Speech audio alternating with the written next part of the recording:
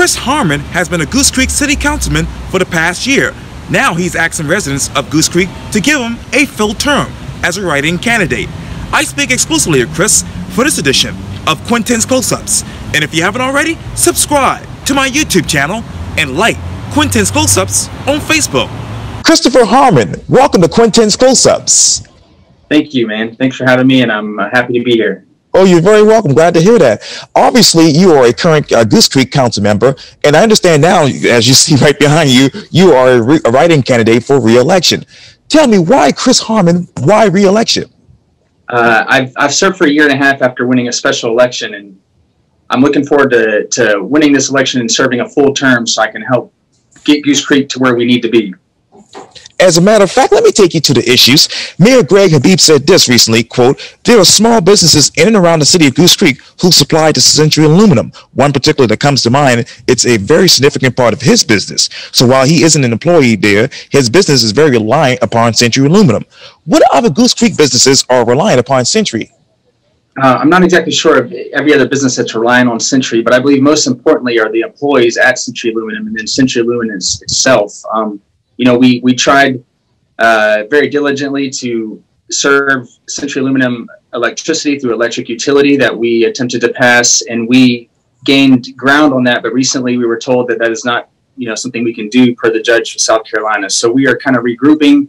Uh, we were able to annex some property around Century Aluminum, and we gave it our best effort to to save Century Aluminum's plant and those jobs. Not only saving the 300 jobs, but attempting to add 300 more. Um, and that's something we really want to see. And, and, we still are kind of figuring out our next step. Now, how much uh, property has the city annexed around that particular area? Uh, it's about 800 acres, give or take a few. Okay. And let me ask you this too. Uh, obviously, uh, Century Aluminum officials said that they sent a notice to the employees that the plant could close on December 31st of this year unless they can, quote, secure a competitively priced power arrangement. What arrangement is ideal price wise for the city of Goose Creek? Uh, you know, I think for us, we were hoping to form this electric utility and then take whatever costs that we incurred and, and wrap those into the price for Century Aluminum uh, to, to both cover the cost of electricity and our operational cost. Um, so I don't have an exact number, but it was something that was going to be lower than the Santee Cooper uh, price point, and, and like I said, hopefully allow them to cut their operational costs so they could continue doing business in our city. And Mr. Mayor explained that the city has already communicated with unemployment with the unemployment commission. That is, he said the city will continue to evaluate the options for the Mount Holly plant. He says the loss could affect the Goose Creek economy. What options have city council been privy to? Uh, you know, I don't know of any exact options at this point, except for to continue to, to, to see if there's a way to get through this process and to serve them the electricity. Um, you know, that's kind of where I stand now. And, and we, like I said, we gave a good effort and we hope that that's still a possibility and uh, uh to get them uh, to keep the doors open. But uh, at the moment, we're kind of at a standstill. And let me get to the other side. Santee Cooper said this to Channel 4, quote, we estimate it would take about 270 million in six to eight years to replace the capacity you now want and increase our operating costs 80 million to as much as 160 million over time of obviously the time frame all costs that would have been shifted and borne to by the other customers for the sole purpose of benefiting century. What's that capacity? Yeah uh, you know I, I, don't know all the details for santee cooper's side of the, the business and, and kind of what they speak to so you know i don't want to get into that but but i think you know ultimately our goal is to help businesses survive and, and i think you know that's ultimately santee cooper's uh, goal also and you know, we tried to help on our side the most we, we, we could, and uh, that just unfortunately did not work. And I hope that maybe Santee Cooper and Century Aluminum could could strike a deal and, and figure something out so they can they can stay you know above water. And you know, from there, I, I don't have you know much insight on, on their operations. And this might be an uh, interesting question, Christopher. But what costs is that the city's foresee customers paying?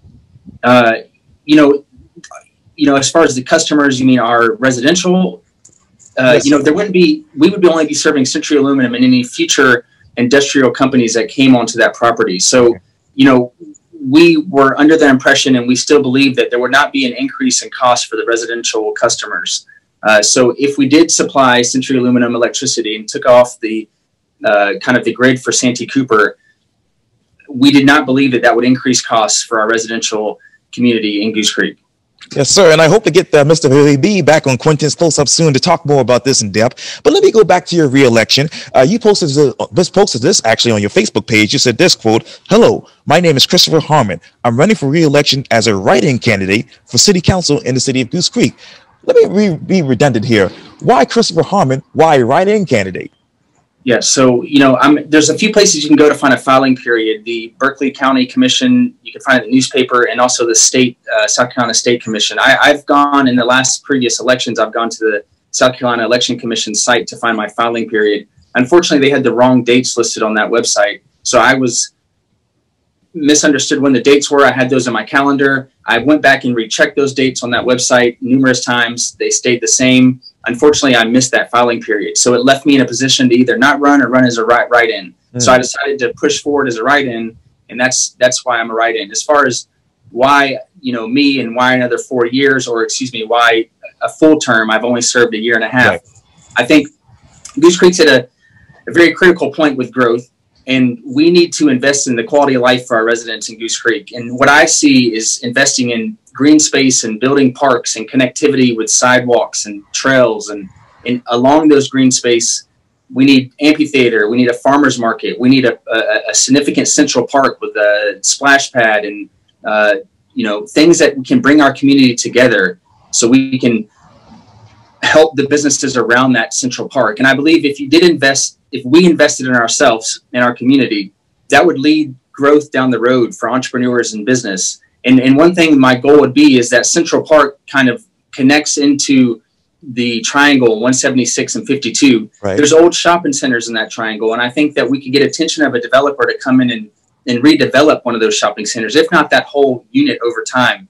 Um, and I think we have a zoning for three levels. The first level could be uh, businesses. It could maybe be a full service hotel. The second could be, you know, the insurance company or the, the tax company. And the third could even be residential, the third level. And I think that would give some density. And I think we could possibly create a town center similar to a Nexton or a Park Circle and allow our community to come together, uh, participate in events, and then also walk into a walkable town center and, and provide support for our businesses. And I think that is where we are in our growth. And coming up is a comprehensive plan, which right. we've already softly started. Right. And this is the, the perfect time to implement some of those ideas and get things moving forward so we can have a better Goose Creek. Now, you talk about these town centers and green space and parks. How much will this actually cost the average taxpayer in Goose Creek? Yeah, so my goal would never be to raise taxes, but I think what you do is you have to invest in yourself. We can't allow business growth to take all of our green space and we're left with nothing but strip mall and apartment complex and neighborhood with no place for our community to come together. So our opportunity our investment cost would be for the buying some of the real estate. So there's a few, that we already own some real estate in the Central Park area. We have Eubanks Park, which we're going to redevelop. Right. So those lots we already own. There's a few lots around those parcels that we could possibly invest in. Even on Henry Brown, there we're building, you know, the suburban sprawl of neighborhoods, and I think it's reasonable to invest in real estate around our city strategically, so that we can have the opportunity to to build on that later, whether it's a park or, or, or even if it's just you know green space. And I think as far as a town center, we don't build that. That's a developer. But I think if we invest in ourselves and create attention, then the development will come in, and that's a private industry. Uh, for us, our investment in parks, real estate, we can afford. Um, and then the park is an investment. We are building a park now that we're paying cash for off 52 in the Boulder Bluff neighborhood where the old Dennis Park used to be. Uh, so moving forward, you know, we would have to invest some money, but this is a long-term approach. This is 10, 20, 30 year vision for where our city not only wants to be today, but where we need to be in future generations. Now, let me ask you this: When those developers do come, what incentives do they do you want them to bring to the neighborhoods? Um, you know, the incentives I want them to bring to the neighborhood is, is the community of Goose Creek. Not only do we need places for our own hometown businesses to set up shop, but we also need places that we can go and spend our money and to keep our money within Goose Creek. So, you know, if you've been to Nexton, they have a beautiful setup they have an amphitheater in the middle of that. They have, you know, you bring one good restaurant and then you get competition with another good restaurant. And so these are places that we can go as Goose Creek residents, have fun with our family, spend a little bit of money that goes back into our city. And this gives our residents a place to, to eat and to, to play and to socialize. Yes, sir. And what exactly is the quality of life right now? Uh, you know, I think the quality of life is is been improving and, and our goal is to continue and improve that quality of life. I think certain cities sometimes we get we, we put growth ahead of quality of life. And I think it has to be a balance. And we have to invest in ourselves as a city to provide these spaces for us to, like I said, come together. You know, if you talk about an amphitheater, a place to have host an event, we have local artists, we have local musicians that could very well play there. Uh, Stratford Goose Creek High School has bands that could come and set up shop and, and, and perform for us. Um, so I think those things enhance the quality of life. Uh, I think right now we do have quality of life, but there's always room for improvement. And if we don't take these steps now, I'm afraid that we'll miss this opportunity and we will become kind of a, you know, a city as other cities are. And we want to set ourselves apart and take it to the next level in Goose Creek. And I know this might be a redundant uh, question, Mr. Harmon, but how do you plan growth with smart growth? Uh, so I think the comprehensive plan is the the blueprint for growth, and I think you bring people together. You ask your residents, you ask professionals and consultants. We have a planning commission that has expertise on our planning commission, our planning director. So we lean into all those resources. We look from a bird's eye view, and we make sure that we have a connected city. And, and like a, it takes strategic investment on our part, and then we have to guide growth. So we have appropriate zoning ordinances set in place so that growth can can come to certain areas. So I think it takes a, a multitude of organizations or, or, expertise to come together to form this plan. Um, and you know, I talk about the central part of Goose Creek a lot.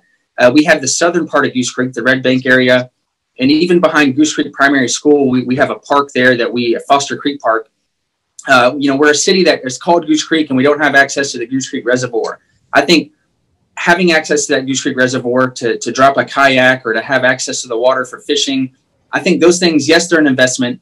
It doesn't have to happen today, but such investments create attraction to our city, not only for our residents, for also for outsiders to come visit our city and to spend money. Another thing is up 176, right. where we also annex land from Century Aluminum.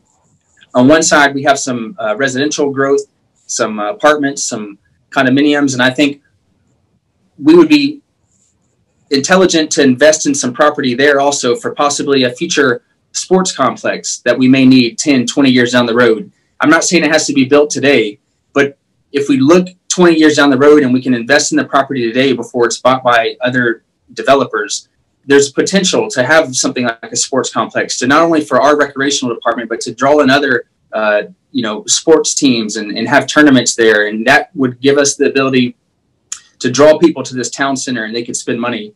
And on that sports complex, you can have a youth center, a place for our youth to come together that not aren't necessarily sports focused, but they have other interests, the arts and uh, you know other things. So we have to make sure that we have places for our community to come together, and we can also draw outsiders to our community so they can spend time in our city and they can stay in our hotel and they can spend money in our town center. So it's like I said, it, it's some investments are for today, but some are for 10, 20 years down the road. And we have to think about where those would be today and set up, preserve land for that future growth.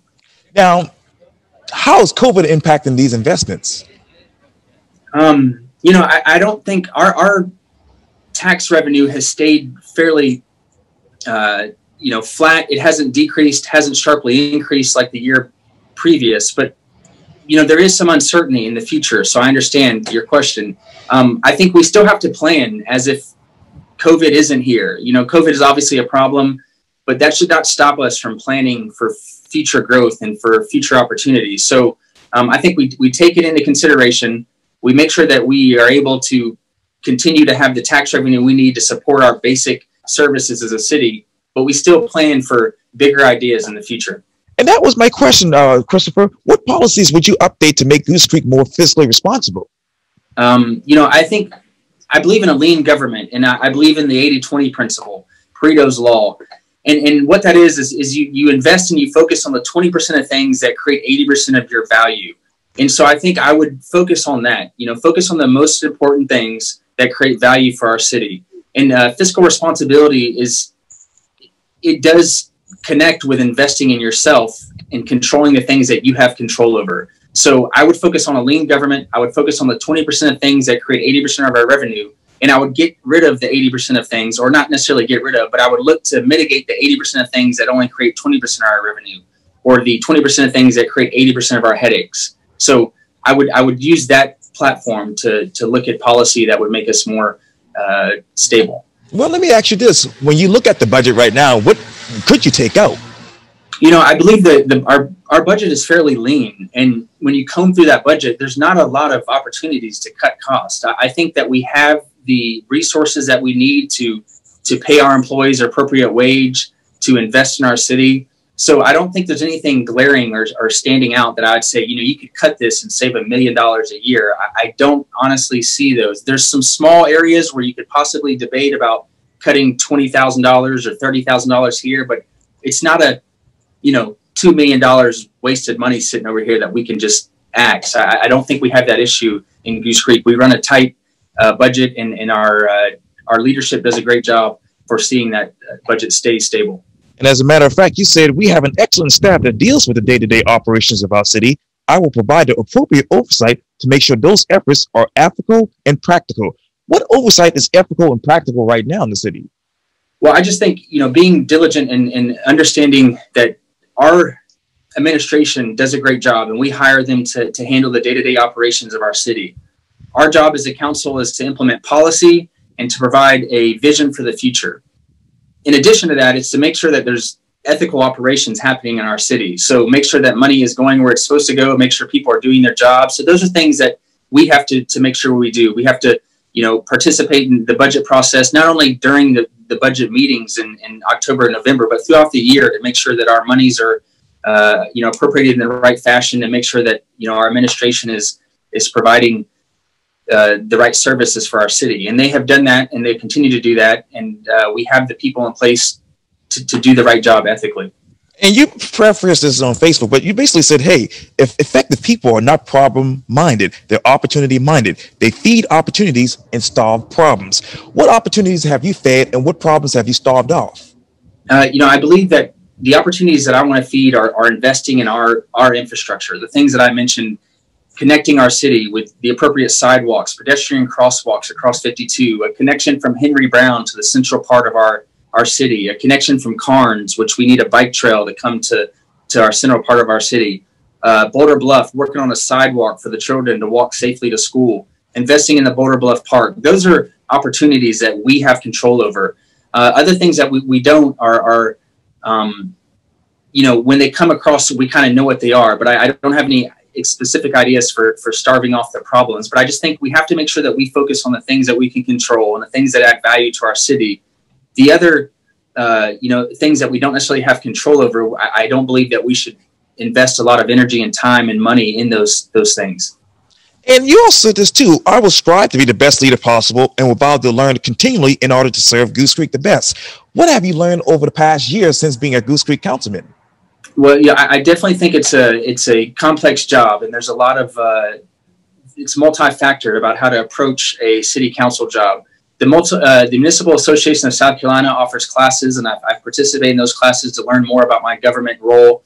Um, and just being part of something for a year and a half, I think it's you know it takes about that long to kind of get your feet settled and, and, and get an understanding of how the government works and, and and how to you know get things to the agenda and how to how to handle a city council meeting and how to handle the, the public and how to handle different agencies around the, the region. So I think that's been something to, that I've learned, um, just kind of who's who, yes. you know, what my process is and, and, and how to, to implement change.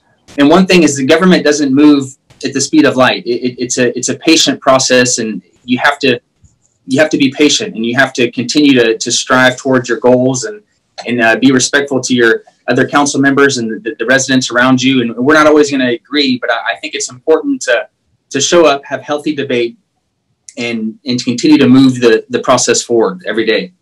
Chris Harmon, thank you so much for your time, and again, welcome to Quintin's Close Ups.